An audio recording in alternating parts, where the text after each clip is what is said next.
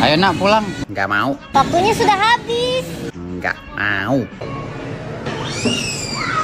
Ya udah, kita tinggal pulang aja. Ayo. Ye, ditinggal. Saatnya cari keluarga baru.